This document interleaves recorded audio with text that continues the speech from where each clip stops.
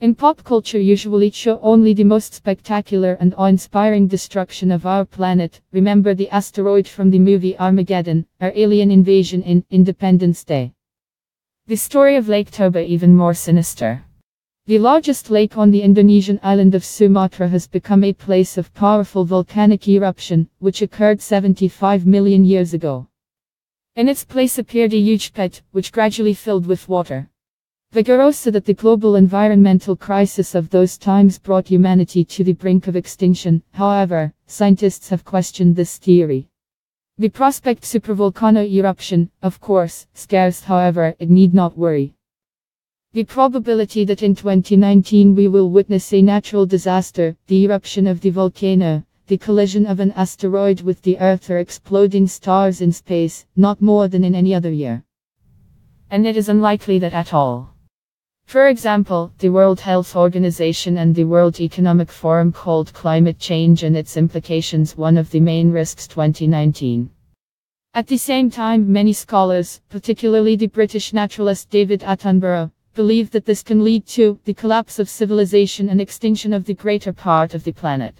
The scenarios are different, from the creation of cyber weapons with virtually unlimited capacity, which could steal and store the data of the whole country for ransom, to the autonomous control algorithms that could unintentionally lead to the collapse of the stock market.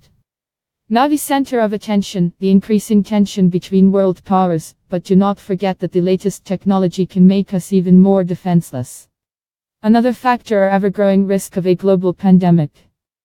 It is believed that the flu kills an average of 700,000 people and costs the global economy 500 billion a year.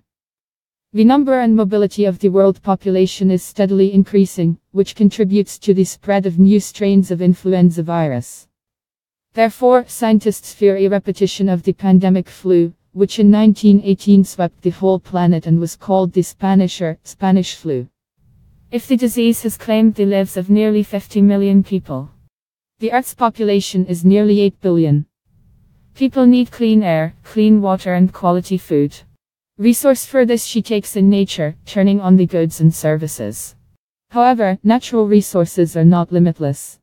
Reduction of biodiversity, overload of infrastructure and supply chain, all of that suggests that we are approaching the border. And rapid climate change only exacerbates the situation. The same, you may want to define global risks for the size of the disaster, which they caused, and a possibility of injury to vital natural systems. In 2010 due to the eruption of the Icelandic volcano Eyjafjallajökull, no one died, but six days was completely closed European airspace. 2017 for a cyber attack is relatively simple virus the extortion of WannaCry partially stopped working within the National Health Service in the UK and other organizations around the world. Because our private life and work are entirely dependent on electrical, computing and internet systems, everything that causes them harm, from a solar flare of a nuclear explosion in the atmosphere can cause very great harm to us. There is an old legend about the Danish king Canute, who ordered the sea to retreat, although he knew that would not be able to hold back the surf. Like impotence can easily encompass us, when we think about a possible future disaster.